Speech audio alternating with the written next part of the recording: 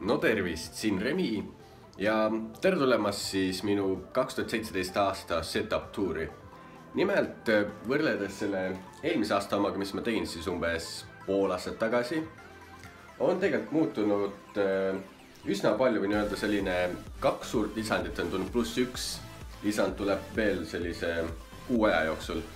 ja mis me siin ikka omame, pööran kohe kaamera ümber ja hakkan siis näitama, mis mul siin nagu toaga muutunud on selle aja jooksul. esimese asjana kohe tuppa astudes on näha, et ma olen põhimõtteliselt voodi ümber tõstnud, et varem oli see mul siin laua asemel.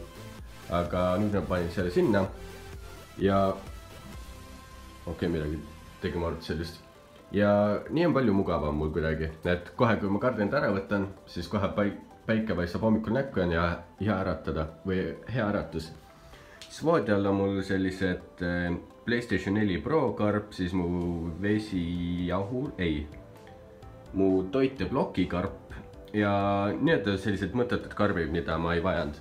ja kui te mäletate, siis mul siin oli veel üks selline suur klaaskapp. vot see klaaskapp on mul nüüd seal suures toas, kuna see võttis liiga palju ruumi ja ma ei kasutanud üldse neid riiuleid seal ära. ja põhimõtteliselt ostsin siis endale sellise väikse riiuli voodi kõrvale. ja siin on ikka veel mu äh, piiparkokk, mis on varsti juba aasta aega seisnud siin. et ei noh, tegelikult üle poole aasta praeguse seisuga. ja kas siin on kuupäev ka, millal see läbi saab? kaks selle aasta lõpuks peab ära sööma, muidu see läheb halvaks.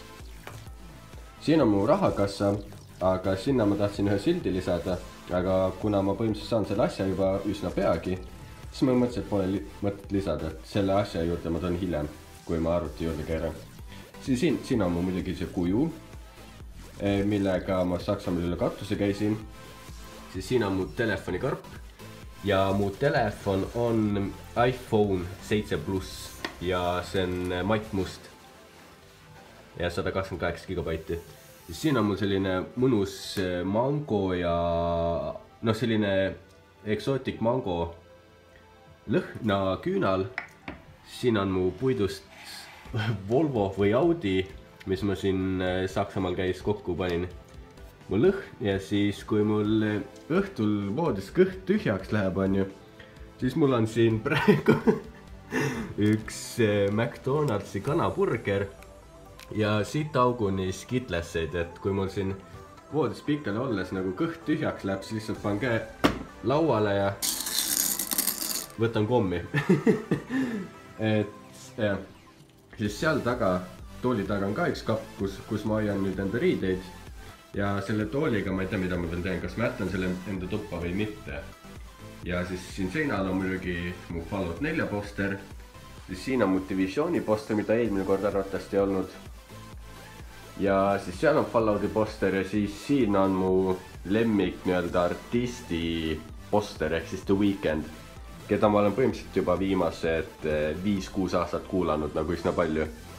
ja nüüd, kui ma tahapoole kõnnin, siis te hakkate mu arvutit nägema, praegu ma meelega sisse suumin, et ei näeks. ja ma panen selle tule siit kustu, et siis saaks sellise oh,, vot nii, parem välimuse, nüüd ma võtan summilt maha ja on näha kõike. et ma olen siis põhimõtteliselt enda lauale taha siia lisanud sellised eh, LED-i riba, aga ma plaanin osta endale peagi sellise värvi muutva, mida ma saan nagu kontrolleriga muuta. et mul oleks nagu palju erinevaid värve ka ja jah, mul on teine monitor. et see on mu vana monitor siin ja see on siis mu uus kahekümne seitsme tolline Delli monitor, mis, millel on ka G-Sync ja sada nelikümmend neli hertsi, aga ma panen selle tulen siin uuesti tööle, et ma näeksin. ja siin on kohe eh, G-Synci kleeps ja nii edasi ja siit see valge juhe on mu telefoni juhe, mis on mul siia monitori külge ühendatud. aga jah, selline on praegult mu selline arvuti setup siin. et kui te pingsalt vaatate, siis te näete, et mu sellisel klaviatuuril on selline kuidas nüüd öelda, hingav valge efekt, et kui ma üritan peale saada seda. kui te märkate seal muidugi siin, siis ma üritan nagu enda selle hiire ja hiiremati ka samasse värviteemasse panna. ja kui te vaatate nüüd mu laua alla, siis ta põhimõtteliselt ei näegi ühtegi juhet, et jah, mõned sellised juhtmed siin tilbenduvad, aga need ma pean lihtsalt selle äh, juhtme nööriga, mis ma olen kinni pannud, nendega saan korda teha. ja noh, ainult väga alla vaadates näete sellist asja, aga noh, kui sa nii istud siin tooli peal, siis sa põhimõtteliselt ei näegi sellist asja. ja jah, ma jamasin sellega üsna pikalt ja nüüd võib vist mu arvuti juurde siin minna et ma ei tea, kas ma panen välgu tule, tule, oh, ei ole vaja. aga põhimõtteliselt eh, mu arvutiga on nii palju muutunud, et ma ei mäleta, kas eelmine kord, ei, eelmine kord oli mul teine korpus. aga siin on siis mu Invin kolmsada kolm Nvidia Geforce GTX Editioni korpus, millel olen ma siis pannud sisse ekstra RGB LED-id, eh, Corsairi omad, kui ma ei eksi. ja siin peal on kontroller millega ma saan nagu värvimoode ja kõik seda muuta. et see on kollane peaks olema, see on roheline, sinine ja no siin on muidugi moodid ka, kuidas käib, ma saan kiirust muuta, kuidas see siin tõmbleb ja nii edasi. Ja see on lihtsalt selline värv, asi, mis käib nagu kõik värvid läbi, et ma saan seda kiirust siin muuta ilusti ja nii edasi. ja noh, selline teema siis muidugi uus vesijahutus, millest te olete ka arvatavasti paljud mu Facebooki fännilehed näinud, kus ma panin sellest postituse. okei see hakkab vaikselt silmadel juba. nii, aga jah, see vesijahutus äh, on siis NCXT äh, Kraken X62 vist. Et see on selline üsna huvitava peegliefektiga, et kui ma tõmban selle juhtme, kontrolleri juhtme eest ära, võtan selle korpuse siin lahti ilusti et see on äh, klaasis selline mõnus. Äh, ja jah kui me nüüd siia sisse lähme, siis te näete, et sel, sellel on selline huvitav efektikene peal. et nagu oleks mingi mitu juhet, aga tegelikult selle taga on selline peegel, mis nagu tekitab selle efekti ja ma saan kõik neid värve asju siin muuta, et oleks selline üsna-üsna huvitav efekt. ja siis noh, see tuleb siit ilusti siia alla, aga sellega on mul selline probleem, et ma ostsin selle korpuse enne, kui ma endale uue vesijahutuse ostsin. ja miks ma uue vesijahutuse ostsin, oli sellepärast, et mu eelmine, põhimõtteliselt see pump eh, lõpetas töötamise ja arvuti oli põhimõtteliselt täiesti perse minemas. Ja ma ostsin uue vesijahutuse ja mõtlesin, et oh jess, et ilma probleemita ta läheb siia sisse. aga need ventilaatorid, mis vesijahutusel on on mõeldud saja neljakümne, nagu need ventilaatorid on saja neljakümne millimeetrised, aga mu arvutikorpus äh, kannatab ainult saja kahekümne millimeetrised ehk siis liiga suured tulid. ja siis need on üsna sellised, üsna raskelt või üsna keerukalt need sinna kinnitatud, et need nagu püsiks siin koha peal. ja videokaart on mul ikka veel sama, veidikeseks ajaks umbes paar nädalat maksimum ja siis tuleb siia noh, kuidas nüüd öelda, kui mul praegult on äh, GTX üheksasada kaheksakümmend Ti, siis äh, paari nädala pärast muutub see GTX tuhat kaheksakümmend Ti-ks. et tuleb selline üsna, üsna võimas upgrade ja oota, ma vist pean teise tule põlema panema, et paremini oleks näha seda, seda. aga ma olen ka enda noh, peaaegu näha, olen nagu enda kõik PCI juhtmed arvuti sees vahetanud välja siis sellise rohelise värviga, et kui ma panen nagu siin, oih. Äh, muudame siin kiirust, et ma kleepsin selle siia peale. muudame aeglasemaks ja paneme rohelise värvi peale.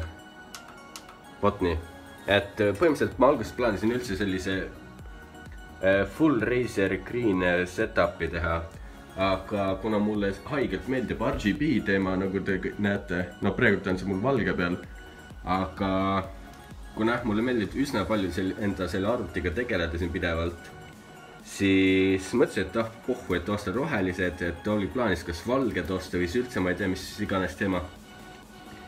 et jah, videokaart muutub varsti GTX tuhat kaheksakümmend Ti-ks ja siis arvatavasti hakkan juba mingi aeg enda protsessorit ja emaplaati ja RAM-e uuendama, kuna need hakkavad vaikselt-vaikselt juba maha jääma.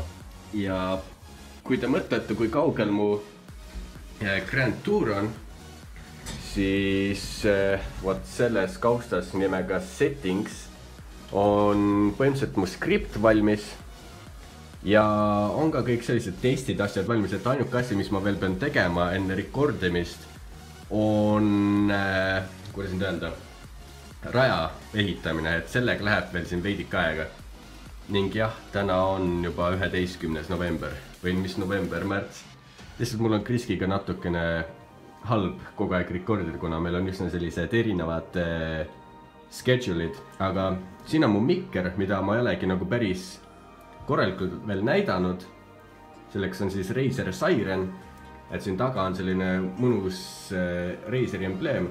kui te mõtlete, miks ma embleemi nagu enda näo suunas ei hoia, siis see on sellepärast, et äh, siin ees on selline väike display, millega ma saan nagu siit taga nuppudest muuta ka enda seda mikrofoni valjusust ja sa muud seda, kuidas see rekordib, et siin on nagu erinevaid viise, et näiteks see see viis on nii, et korjab mikrofoni eest ja mikrofoni tagant heli, siis on äh, see omnidirectional ehk siis see korjab ainult eest, nagu mul praegult on, et see korraks nagu mingi arvuti undamist ja kõike seda ülesse. siis on äh, see, mul, mul ei tulegi selle nimi meelde, aga igastahes see korrab nagu ümbertringi kolmsada kuuskümmend kraadi heli. Ja see on nagu külgede pealt ja siis see ongi kõik, et ma kasutan põhimõtteliselt seda omnidirectionali.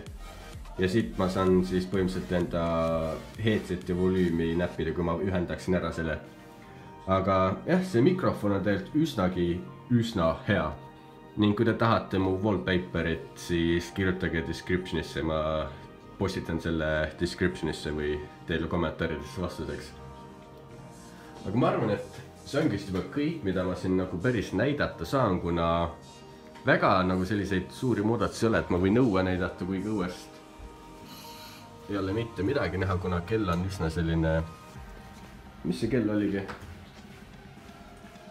kell on äh, kolmveerand kaks öösel ning äh, ma rekordin videot.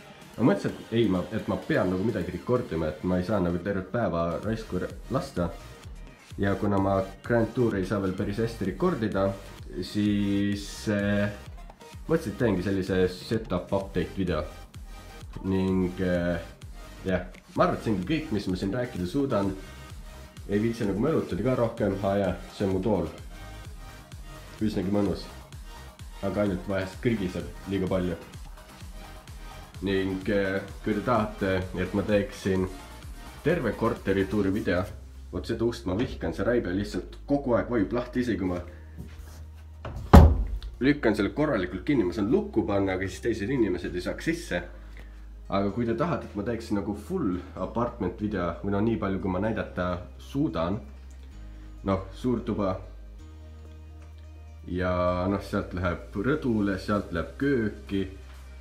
vannituba, WC, kui te tahate, et ma teeks nagu sellise full video sellest, siis äh, andke teada ja ma varmasti üritan mingi MTV Creepy Creep stailis selle valmis teha, aga jah, kaua ma ikka mälutan. siin oli Remi ja näeme järgmises videos. Davai